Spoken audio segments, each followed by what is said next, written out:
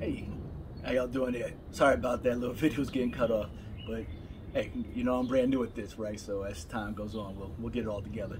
Probably need to hire somebody to do all that video editing and put it all together, but I'll just put it up as three parts. But uh, give us time to little set this up and show you what we got going into summer Comic Cons.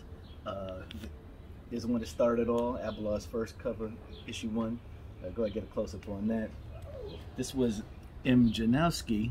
You remember a lot of people like this one. Her and people said, "Oh, you know, maybe what happened to it issue two." She's got something in the back there. Her cover, that cover. Oh, a second, let me see it real quick. This one we open, let you know that M. Janowski is still part of the Scruff family. This issue three cover, that's her right there. So you know, she's still part of it. She still does some dope art.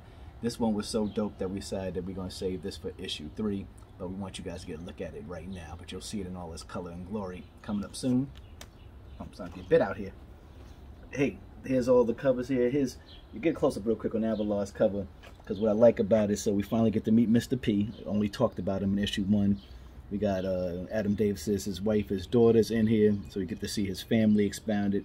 And of course, there he is, expanded. And of course, we see him here as the Scruff. So, you know, a lot of things coming. I've been talking about in issue two is the family's expanding, the villains are expanding.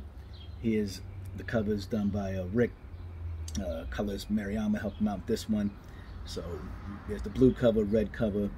Uh, those who had hit the highest levels of the um, Kickstarter, you're going to get all three. So you got the whole collection of the variant covers. Uh, those who just joined the Scruff family, you're going to get issue one and issue two from the original covers.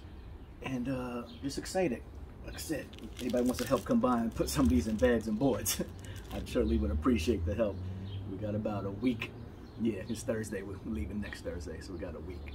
So that's about it. Here's the scruff, issue two. It's coming to you soon.